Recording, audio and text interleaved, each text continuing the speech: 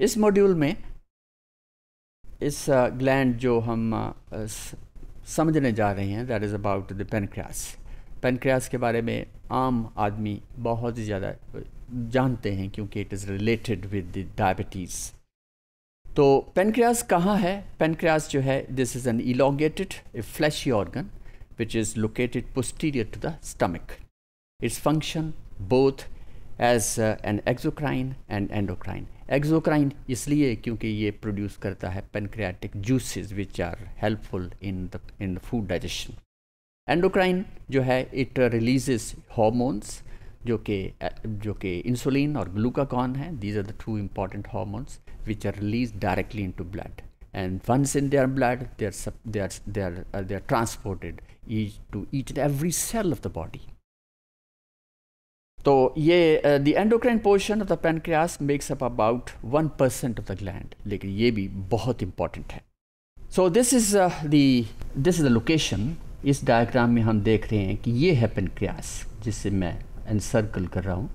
और uh, ये है this is the small intestine और दिस अ गल ब्लैडर और this a common bile duct ये तो हो गया it is related with the digestion process अब इसके with this part of it that has been magnified to form to show the to show the digestive enzymes and you know वगैरह वगैरह. तो ये है this is all about the exocrine portion अब उसके बाद है endocrine portion which is which is the जिसमें हम कहते हैं आइलेट्स ऑफ़ लैंगर हैंड्स और uh, ये है this part of it of the slide ये तो नो एक्चुअल स्लाइड है इसकी माइक्रो फोटोग्राफ है।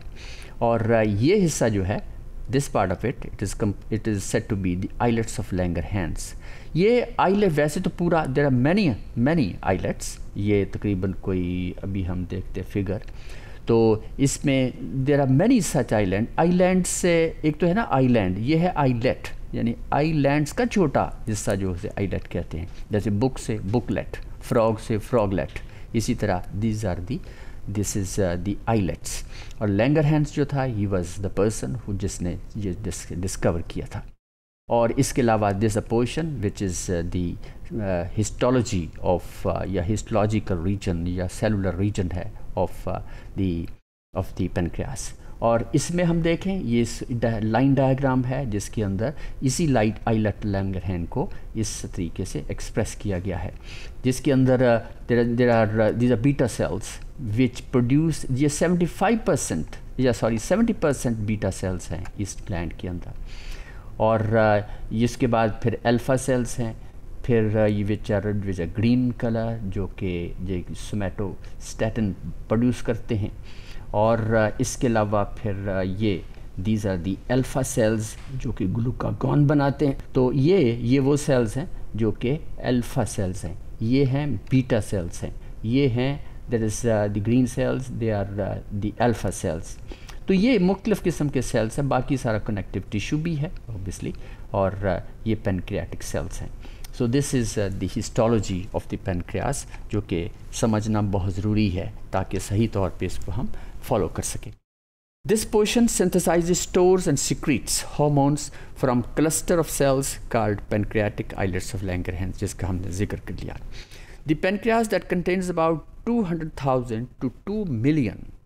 pancreatic islets which are scattered throughout the throughout the gland Now each islet contains four special groups of cells called alpha cells, beta cells, then delta cells and then the F cells. अब हम इन्हीं चारों का ज़िक्र करते हैं कि what are their functions. अब हमें ये पता चल गया कि ये कहाँ कहाँ हैं लेकिन अब हम फॉलो करना उसकी फिजियोलॉजी को फॉलो करना भी आसान हो जाता है क्योंकि एक इमेज सा बन जाता है जहन में the alpha cells produce the hormone glucagon beta cells produce insulin The delta cells secrete somatostatin. The this is uh, और ये ये this is under the control of uh, the hypothalamic growth uh, hormone inhibiting factor है जो उसकी secretion को control करता है that also inhibits glucagon and insulin secretion क्योंकि ये नहीं होता कि इंसुलिन बनती बनती जाए या ग्लूकागॉन बनती जाए तो इनको कंट्रोल करने वाला भी कोई ऐसा फैक्टर होना चाहिए और ये ज़ाहिर है कि केमिकल फैक्टर्स ही हैं which is produce by the delta cells now the F cells they secrete a pancreatic polypeptide that is release into the blood stream after a meal and inhibits somatostatin जो कि uh, उसकी secretions को और गाल ब्लडस contractions and the secretion of pancreatic digestive enzymes ये F factors के सारे के सारे ये काम हैं जो कि which are controlling the contraction and relaxation rather contraction of uh, the gallbladder और क्योंकि gallbladder that contains bile और बाइल का इंपॉर्टेंट रोल है in the fat digestion Now, when glucose concentration in the blood is high, such as after meals, तो beta cells secrete insulin insulin promotes the uptake of glucose by the body cells including liver cells then where excess glucose can be convert into glycogen a storage polysaccharide तो ये ये तमाम insulin का काम है कि ये मेटाबॉलिज्म को भी इन्हेंस करती है और ये ग्लूकोज की जो एब्जॉर्प्शन है बाय द सेल उसको, उसके लिए इंपॉर्टेंट है, क्योंकि मेटाबॉलिज्म जो है वो तो सारा सेल्स के अंदर होना है। तो अगर इंसुलिन नहीं होगी तो glucose that will not make its entry into the cell और जब ग्लूकोज की कंसनट्रेशन बढ़ जाती है, बहुत ज़्यादा हो जाती है, और सेल्स भी इस लिहाज से हम कहते हैं कि वो भी लथपथ हो जाती हैं ग्लूकोज से, और उसकी वजह उसकी वजह से फिर मेटाबॉलिज्म में फ़र्क आ जाता है। और और जिससे ग्लूकोज की कंसंट्रेशन ब्लड के अंदर बहुत ज़्यादा हो जाती है, जिसे हम पे डायबिटीज़ कहते हैं। Now insulin and glucagon are crucial to the regulation of blood glucose concentration ये ब्लड ग्लूकोज जो है, या ग्लूकोज के अंदर ये ब्लड की कंसनट्रेशन है, इसका मेंटेन रहना बहुत इंपॉर्टेंट है। अगर बहुत ज़्यादा हो जाए, एक ख़ास रेंज से तो then we call it diabetes diabetes mellitus जैसे कहते हैं ग्लूकोज की कंसनट्रेशन ब्लड के अंदर बढ़ जाने को। या इसी का उलट भी है हाइपो भी हो जाता है, और जिसकी वजह से ब्लड ग्लूकोज की कंसनट्रेशन बहुत कम हो जाती है। ये कब होती है? अगर इंसुलिन अगर प्रोडक्शन ज़्यादा हो जाए। तो ये तमाम they are very precisely regulated इसकी सिक्रीशन इंसुलिन uh, की और ग्लूकागॉन की बहुत ही precisely it is under is ऐसे कहते हैं कि बहुत ही अंडर कॉल इट ऑटोमेशन में है हम्म? यानी कि ये हर वक्त इंसुलिन भी नहीं प्रोड्यूस होती या हर वक्त भी ग्लूकागॉन प्रोड्यूस नहीं होता ये उस वक्त सिक्रेशन इसकी प्रोड्यूस होती है जब इनकी ज़रूरत पड़ती है और जिसकी वजह से ब्लड ग्लूकोज की कंसनट्रेशन मेंटेन रहती है। तो glucagon stimulates the break down of glycogen into glucose अब इसका भी एक बहुत इंपॉर्टेंट रोल है कि अगर ग्लूकोज की कंसनट्रेशन कम हो जाए ब्लड के अंदर तो ग्लूकागॉन जो कि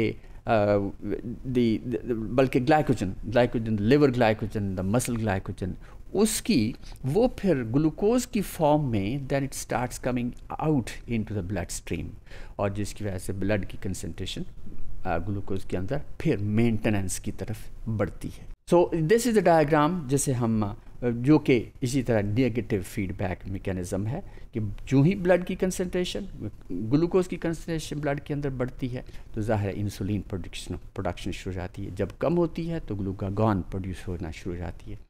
So this is well maintained or uh, this is also a best example of a negative feedback mechanism. This figure जो हमने देखी तो this is the best figure this is a this is a the uh, flow sheet आप कह सकते हैं कि negative feedback system है and regulates the secretion of glucagon and insulin and the maintenance of appropriate blood glucose concentration ये दोनों हालतों में ख़तरनाक है। हाइप, अगर हाइपो हो जाए ग्लूकोज की तो वो ज़्यादा ख़तरनाक है। उससे तो बेहोशी भी तारी हो जाती है। लोग चलते चलते गिर भी सकते हैं। लेकिन हाइपर जब बहुत ज़्यादा हाई कंसनट्रेशन होती है ग्लूकोज की, वो इस फॉर्म में नहीं होती, लेकिन उसका कंटिन्यूस रहना, that is very fatal. That may be fatal.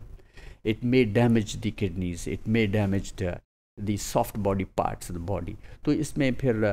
वो ताकत नहीं रहती, वो विगर नहीं रहती और वो एनर्जी नहीं प्रोड्यूस होती, क्योंकि ग्लूकोज जो है, वो मेटाबोलाइज प्रॉपर्ली नहीं हो रहा। क्योंकि इंसुलिन के ना होने की वजह से इंसुलिन की कमी की वजह से ग्लूकोज सेल के अंदर नहीं जाएगा मेटाबॉलिज्म नहीं होगी एनर्जी नहीं बनेगी एटीपी नहीं बनेगी और जिसकी वजह से लिथार्जी महसूस होती है। So this is all about the the importance of this pancreas in our body so this is all about this module